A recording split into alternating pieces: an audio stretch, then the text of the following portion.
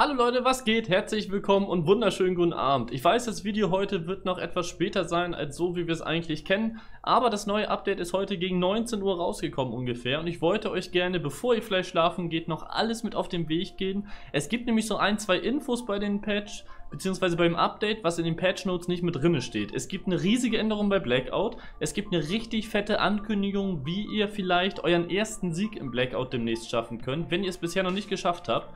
Es gibt im Multiplayer zwei Changes, die so nicht bekannt sind und es gibt ein neues Perk im Multiplayer, was jetzt mit reingepatcht wurde, aber noch nicht aktiv ist und noch nicht zu sehen ist.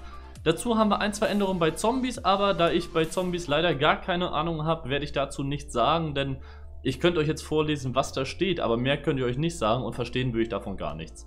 Der erste wichtige Patch, wir haben zwei Änderungen an den Perks, die wir aktuell im Multiplayer haben. Unter anderem ist einer der ersten, äh, ich sag mal, Changes, eine der ersten Änderungen dort, dass Team Link jetzt ein bisschen mehr Liebe bekommen hat. Team Link funktioniert ja eigentlich so, dass ihr A, eure Teammates gerade in Hardcore durch die Wände sehen könnt und dass der, wenn euer Teammate einen Gegner sieht, der Radius fürs ganze Team damit größer wird. Jetzt haben sie so gemacht, dass der Radius, in dem du einen Gegner um dich herum sehen kannst, auf der Karte nicht mehr knapp 90 Grad ist und so ein Kegel, wie es vorher war, sondern 360 Grad, wenn man Team Link aktiviert hat. Dazu kommt, dass der Radius davon, von der Reichweite her, ungefähr bei 9 Metern liegt, statt vorher bei 7 Metern. Für den Multiplayer wird das, um ehrlich zu sein, keinen großen Unterschied machen, das muss man so sagen. Team Link ist eigentlich nur wirklich hilfreich für Hardcore ist aber vielleicht für alle interessant, wenn sie doch mal Team Link ausprobieren wollen. Das zweite, was vielleicht auch eher für Casual Players ganz interessant ist, ich persönlich rate euch jetzt schon davon ab, nehmt sowas wie Kaltblütig niemals mit. Kaltblütig hat ja im Prinzip den Sinn, dass wenn eine Score-Streak oben ist, ein Kampfheli, ein Scharfschützennest, ein Mantis, dass das euch nicht sofort anvisiert. Es macht aber keinen Sinn, dieses Perk immer in jeder Klasse dabei zu haben von Anfang an, denn wenn ihr auf eine Map joint, sind keine Streaks in der Luft. Das heißt, ihr lauft die ganze Zeit rum, bis vielleicht mal Streaks kommen, was vielleicht auch gar nicht passiert, und habt die ganze Zeit einen Perk verschwendet. Auf jeden Fall ist die Anvisierzeit von den gegnerischen Streaks auf kaltblütig, wenn ihr das Perk habt, jetzt von 5 Sekunden auf 7 Sekunden erhöht. Ob einem das jetzt unbedingt einen großen Unterschied macht, müsst ihr selber testen. Ist aber ganz interessant, dass sie sich da nochmal rangesetzt haben. Insgesamt ist es sehr, sehr enttäuschend, was im Multiplayer reingekommen ist, bis auf zwei Sachen. Das allererste, es gibt ein neues Perk, was demnächst aktiviert werden soll. Und dieses Perk heißt Sanitäter. Ich habe das vor Wochen schon mal angekündigt. Sanitäter bewirkt folgendes. Wenn es ausgerüstet ist, könnt ihr euch selber nicht mehr heilen. Das heißt, Steam Injection, alles geht nicht mehr. Ihr werdet automatisch geheilt, so wie man das aus allen anderen CODs aus der Vergangenheit auch kennt.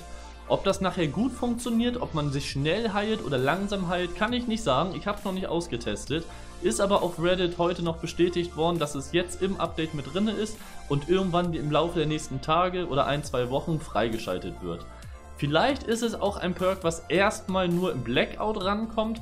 Ich kann es euch nicht sagen. Genauso wie die Sense ja im Blackout verfügbar ist für Season Pass Holders, kann ich mir sehr gut vorstellen, dass die Sense auch im Multiplayer nochmal kommt.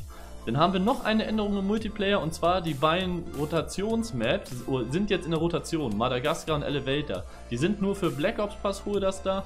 Die kann man jetzt in jedem Modus spielen, also unter anderem auch in Hardcore. Das ging vorher nur in den vorgestellten Modi. Auch da rate ich persönlich immer davon ab, ähm, den Season Pass würde ich sowieso nicht nehmen. Viel zu teuer, ihr wisst vor dem COD immer nicht, was ihr bekommt. Das COD kann scheiße sein, dann habt ihr 80, 90, 100 Euro mehr ausgegeben. Und diese ganzen bezahlten DLC-Karten, die man so bekommt, sind immer ein Problem, weil das wirklich schlechte Connections dabei immer sind. Das läuft, diese DLC-Karten laufen immer über andere Server. Deshalb kann ich euch nur davon abraten, diese DLC-Maps überhaupt runterzuladen und den Season Pass zu holen. Am Ende des Tages ist es aber eure eigene Entscheidung.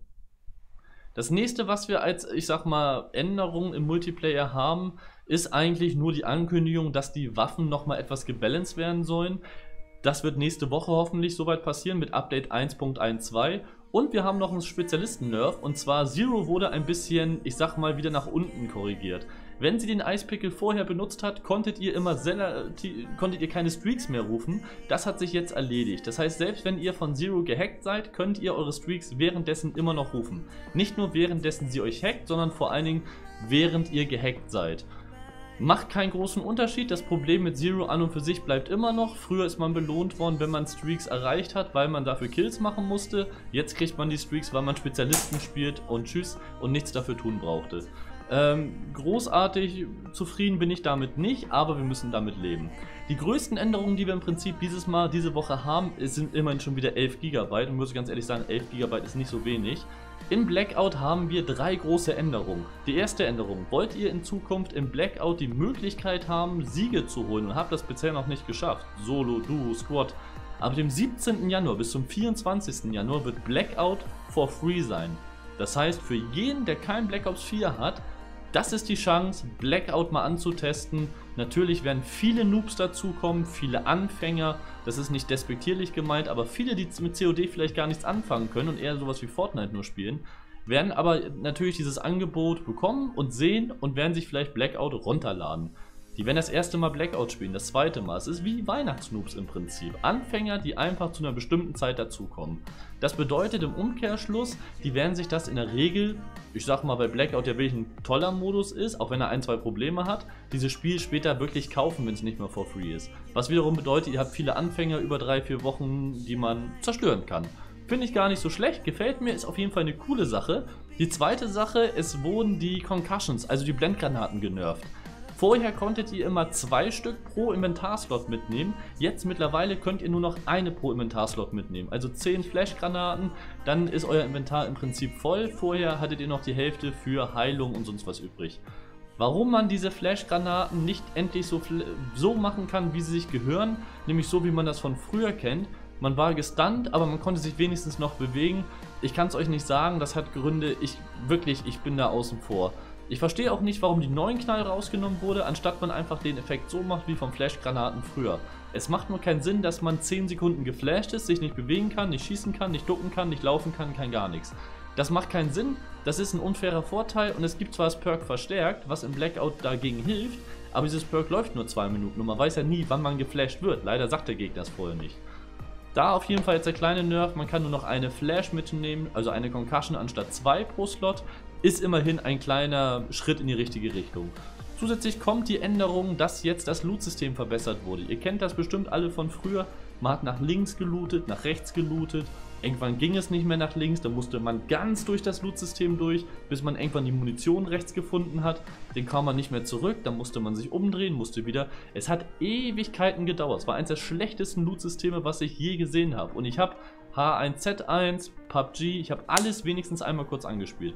Das ist jetzt verbessert. Wir haben auf drei Reihen A5 Slots die Möglichkeit, auf einen Blick zu sehen, welche Waffe ist da, welche Muni ist da. Wir können direkt zu den Perks vorswitchen, zu den Aufsätzen, zu allem. Und bisher konnte man auch nicht sehen, ob die Rüstung, die man aufnehmen möchte, vom Gegner oder wo auch immer sie war, besser war als die vom Zustand her, äh, die man selber hat. Das hat sich jetzt auch Gott sei Dank erledigt. Man kann jetzt direkt auf einen Blick sehen, ob die Rüstung vom Gegner in besserem Zustand oder schlechterem Zustand ist. Das erspart beim Looting wirklich sehr, sehr viel Zeit und ist hilfreich. Bisher waren alle, die am PC gespielt haben, bei Blackout definitiv im Vorteil, was das Ganze anging, denn da hatte man immer den Vorteil, dass man mit Maus und Tastatur natürlich viel schneller durch das Inventar eines toten Spielers durchkam als vorher. Dann gibt es noch eine riesige Änderung und eine Ankündigung für Blackout und da bin ich sehr gespannt, wie das umgesetzt ist. Und zwar gibt es eine neue zeitlich begrenzte Playlist, wahrscheinlich ab Donnerstag oder Freitag. Das ist der Wahnsinn, Leute. Diese Playlist ist für Teams, also du oder Squad, und hat im Prinzip ähm, den Namen Down but not dead. Das heißt, ihr seid zwar down, ihr seid unten auf dem Boden, ihr seid äh, getötet worden, aber ihr seid noch nicht endgültig tot. Was dieser Modus bewirkt, ist folgendes. Nachdem jede Zone einmal, also nach jeder Zone, wenn sie da angekommen ist, wo sie hin soll, er ist groß und immer kleiner, werden alle eure Teammates wiederbelebt, solange einer aus dem Team überlebt. Das heißt, wenn ihr mit drei Kumpels spielt und drei von euren Teammates seid, sind in der ersten Zone gestorben und überlebt die erste Zone, werden alle drei Teammates wiederbelebt. Das gibt natürlich bestimmt ein riesiges Chaos ab einer bestimmten Zeit. Stell dir vor, 10 Leute sind noch übrig, aber aus 10 verschiedenen Teams in der letzten Zone. Wenn die Zone ankommt, werden 30 Leute neu belebt. 10 mal 3, 30. Das heißt, statt 10 sind es plötzlich 40 Leute auf engstem Raum. Ich weiß nicht, wo sie gespawnt werden, ich weiß nicht, wie sie gespawnt werden. Das ist auf jeden Fall ein Modus, da freue ich mich sehr drauf. Den werde ich auch definitiv ein, zwei Mal im Stream spielen. Ob der jetzt gut umgesetzt ist oder nicht, wird sich dann zeigen. Dann haben wir noch zwei, drei Änderungen beim Zombie-Modus, die finde ich aber wirklich, wie ich sagen muss, einfach nicht realistisch umsetzbar für mich, deswegen lasse ich euch da raus. Jetzt denkt bitte dran, Samstag ist das Blackout-Turnier. Jetzt genau zuhören. Es wird relativ einfach sein. Morgen kriegt ihr noch ein klares, ausführliches Video darüber. Ich sag's nur einmal kurz. Alle Duos sind erlaubt, egal ob Pro oder nicht Pro. Ich habe auch Ganelite heute angeschrieben, weil er unbedingt ein Duo Blackout, Screen, äh, Blackout spielen möchte. Ihr spielt jeweils im Duo, ihr springt mit mir als Squad ab, spielt aber zwei gegen Squads dann. Es gibt verschiedene Punkte für verschiedene Herausforderungen und für Kills und für Siege. Und die fünf besten Duo-Teams kommen nachher in einem privaten Match mit 2 gegen 2 gegen 2 gegen 2 gegen 2 und mir als äh, Kommentator in eine private Lobby und dort drei Runden und dann wird entschieden, wer am Ende am meisten Punkte und Wins hat. Das wird ziemlich spannend, ich freue mich drauf. Ich hoffe, die Umsetzung klappt so, wie ich mir das vorgestellt habe. Es gibt auch ein Preisgeld für die ersten drei, jeweils insgesamt, also insgesamt 75 Euro. Die ersten beiden gewinnen 50 und das zweite Team gewinnt dann 25. So hat auch jeder wirklich noch ein bisschen Anreiz neben dem Spaß. Ich hoffe, euch hat das heute irgendwie geholfen, dass ihr wisst, was jetzt in diesem Update rausgekommen ist. 11 GB ist ja gar nicht so wenig und hoffen wir darauf, dass die Titan bald gepatcht wird. Ha, passiert eh nicht. Ich wünsche euch einen schönen Abend, vielen Dank, dass ihr zugehört habt und schlaf gut und träumt von mir.